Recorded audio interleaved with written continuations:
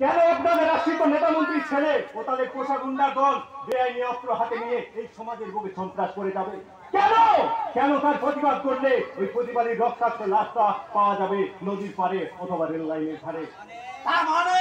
School কিংবা কলেজে যাওয়ার পথে যদি কোনো মেয়ে লাঞ্ছিত হচ্ছে তা দেখে যদি অন্য কোনো মেয়ে এগিয়ে আসে তার প্রতিবাদ করে তখন সেই প্রতিবাদী মেয়ে কণ্ঠ রোধ করার জন্য তাকে বিবস্ত্র করে তার উপর করা হয় পাশবিক অত্যাচার।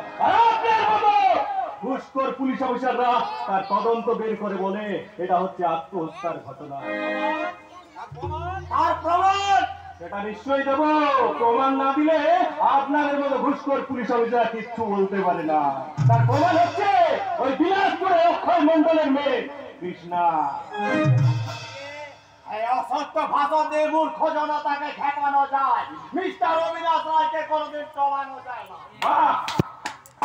তা আমরা জানি কারণ মানবিকতা বিকিয়ে ঘুরছে আপনার মাথা থেকে পা পর্যন্ত পুরোটাই বিক্রি করে ফেলেছে!